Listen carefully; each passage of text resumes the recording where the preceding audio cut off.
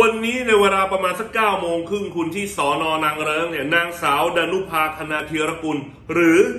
น้องมิลลี่ รู้จักกันอยู่แล้วล่ะก็เป็นนักร้องหรือแรปเปอร์ชื่อดังนะฮะ พร้อมทนายความเข้ารับทราบข้อกล่าวหา กรรมการผู้ช่วยรัฐมนตรีประจำสำนักนายกรัฐมนตรี และทนายความของท่านนายกเนี่ยเข้าแจ้งความกับพนักงานสอบสวนของสอนอนางเริงให้ดำเนินคดีกับนางสาวดนุภาเนี่ยหรือน้องมิลลี่เนี่ยในเรื่องของอะไรคุณ แต่งเพลงเสียดสีนายกรัฐมนตรี ดูหมิ่นโดยการโฆษณา ทั้งนี้คุณไผ่ดาวดินเนี่ยนะและกลุ่มทะลุฟ้าก็ได้เดินทางไปให้กำลังใจอย่างหนาแน่น มีการใช้เครื่องขยายเสียงมีการขึ้นป้ายนะว่า Save มิลลี่แต่ก็อาจจะมีการกระทบกระทั่งกันเล็กน้อยกับเจ้าหน้าที่ตำรวจ เพราะว่าเจ้าหน้าที่ตำรวจบอกว่าให้ปลดป้ายลงซะ แต่คุณไผ่ดาวดินบอก ตรงนี้มันพื้นที่ของเรา พื้นที่ของประชาชน สรุปตำรวจเถียงไม่ได้ ต้องถอยออกมา คุณไผ่ดาวดินเนี่ยบอกว่าอย่างนี้นะตนเนี่ยเดินทางมาให้กำลังใจน้องมิลลี่ หลังจากถูกเชิญมาพบเจ้าหน้าที่ตำรวจ เพราะออกมาแสดงความคิดเห็นทางการเมือง ซึ่งตนมองว่ามนุษย์ทุกคนเนี่ยสามารถแสดงความคิดเห็นได้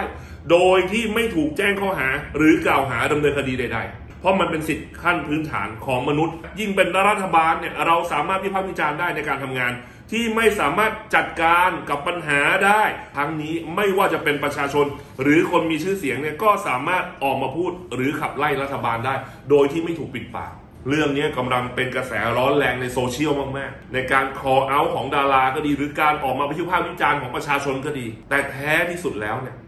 สิ่งที่เขาพูดเนี่ยมันคือข้อเท็จจริง ที่รัฐบาลเนี่ยจะต้องยอมรับแหม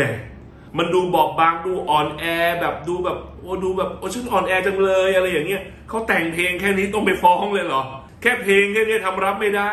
ฟังหรือเปล่าหรือข้างๆเขาฟังแล้วก็ เนี่ยมันเป็นอย่างเงี้ยลูกพี่จัดการหน่อย อย่างนี้หรือเปล่า อย่าเลย น้องเขายังเด็กอยู่ จริงๆอะคุณฟัง ฟังในสิ่งที่ประชาชนพูด ฟังสิ่งที่ดาราเขาคอเอา คนมีชื่อเสียงเขาออกมาเรียกร้องอะไร ตีโจทย์ให้แตก แล้วคุณเอาไปปรับปรุง เอาไปพัฒนา นั่นละสิคือความเป็นผู้นำความน่าชื่นชม ความน่าเชื่อถือ แต่อันเนี้ยฟังแล้วมึงไปปิดปากเขาไปแจ้งความว่าห้ามพูดนะ หยุดพูด stop shut up อย่าไปทำเลย ไปทำอย่างเงี้ยคนก็ด่าพ่อล่อแม่เปล่าๆพ่อแม่นอนสะดุ้งทุกวันแล้วจะบอกให้ฟังถ้าทำอย่างเงี้ย แสดงความเรียบร้อยเป็นไหมหรือมีแต่ความกักขระอย่างเดียว ผมไม่ได้หมายถึงใครนะ พฤติกรรมแบบไหนคุณไปดูกันเอาเอง แต่ผมแค่รู้สึกว่ารู้สึกว่าอ่อนแอจังเลย เจอเพลงแค่เนี้ย